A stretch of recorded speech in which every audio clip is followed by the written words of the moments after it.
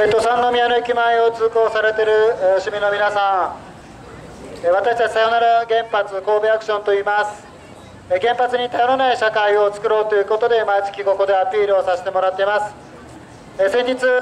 原子力安全規制委員会というところが仙台原発の審査書案を承認をしました。しかしこれは、え直ちに再稼働ということではありません。え規制委員長自身が審査基準は満たしたけれども安全を保障するものではないというふうに言っています。でところが一方で政府は規制委員会が基準を満たした原発については再稼働安全だから再稼働させると言っています。これは一体どういうことでしょうか。政府も規制委員会ももし事故が起きた時の責任を取りたくないということではないんでしょうか。福島の311の事故が現実に起きた今誰も原発の事故の責任を取ろうとしない無責任な体制が続いています。現在もなお政府は福島の事故の検証すら、えーまとめておりません。それとは別に規制委員会が、えー審査基準を作り勝手に認めたと言ってるに過ぎません。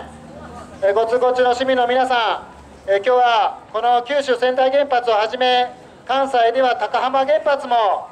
再稼働が予定されています。こういった原発の再稼働について賛成か反対かシールを貼ってもらうシール投票をやっておりますのでぜひこの場でご協力ください。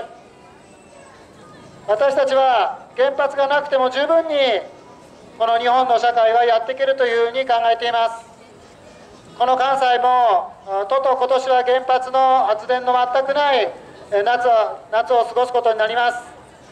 関西電力はえ原発にえ半分近くを頼っていた日本最大の原発に頼った電力会社でしたが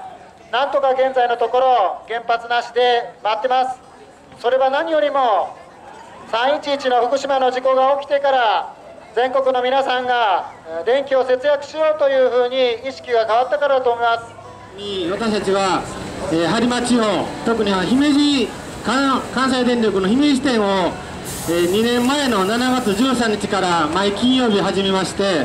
えー先週の7月11日で100回目ということで、100回目のお抗議行動を行いました、えーその時には、えーさよなら原発神戸アクションのメンバーはじめ多くの県内の各脱原発グループの皆さんが応援に来ていただきましてえー普段は大体十数名で、あ、の毎回講座やってますが、えー先週7.11は、えー100名ぐらいの仲間に集まっていただいて関連前、まあ、大きなあの雨でし、えー会社ですので全ては取り囲みできませんでしたけども100名のメンバーでヒューマンチェーンも行ってきたところです。その、えー、最後の皆さんには本当にお世話になりました。ありがとうございました。ぜひご通行中の皆さんも一緒に原発はいらないという声を上げていこうではありませんか。ではえ私はあのイムジン川の、えー、阿武隈川というちょっと歌詞を書いてます。これは私が勝手に書いたのじゃなくて知っての通り経産経済産業省の前テント村のメンバーがイムジン川の言葉を阿武隈川に変えて、えー歌っております。その歌を歌わせてもらいます。阿武隈川です。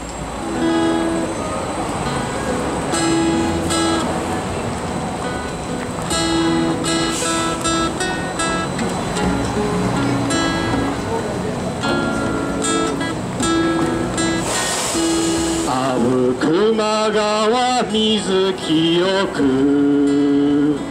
とうとうと流る踊り自由に群がり飛び交うよ。我がふるさと福島よ。思いは春